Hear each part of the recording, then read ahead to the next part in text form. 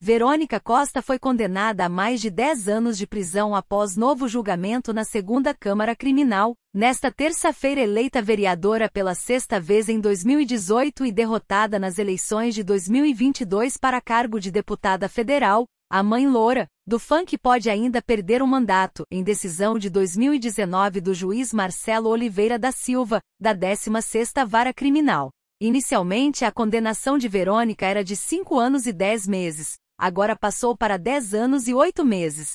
A vereadora, fanqueira e ex-nora de Antônia Fontinelli é acusada de agredir seu ex-marido, Márcio Costa, e o caso surgiu na imprensa em fevereiro de 2011. Além dela, quatro familiares também viram suas penas aumentar e devem cumprir em regime fechado. Ao jornal O Globo, Verônica se defendeu e negou as acusações. O que estão fazendo comigo é uma injustiça, pura maldade. Quem me conhece sabe que não levanto o braço para ninguém. Vamos recorrer porque quero provar que sou inocente.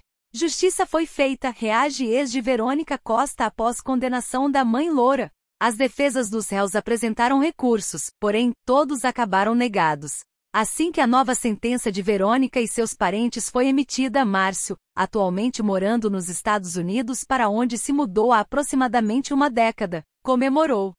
Demorou, mas graças a Deus a justiça foi feita, afirmou.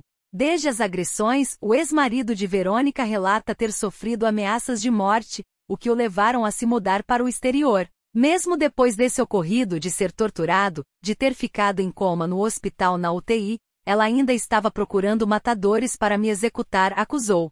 Soube por outras pessoas que conhecíamos em comum. Eu fiquei numa situação muito difícil no Rio de Janeiro, andando com medo nas ruas, trocando de endereço toda hora. Minha vida virou uma loucura. Entenda as acusações contra Verônica Costa. O irmão, a irmã, o cunhado e o padrasto de Verônica são acusados de terem ido até a casa onde ela e Márcio moravam após um jantar do casal. Em seguida, supostamente atendendo ordem dela, trancado Márcio em um banheiro. Antes de ser agredido, ele diz que foi amarrado nos pulsos e pés e tido olhos e boca presos como a uma venda. Jogaram um produto químico no meu corpo. Não sei se gasolina, disse na época, acrescentando ter sido acusado de roubo.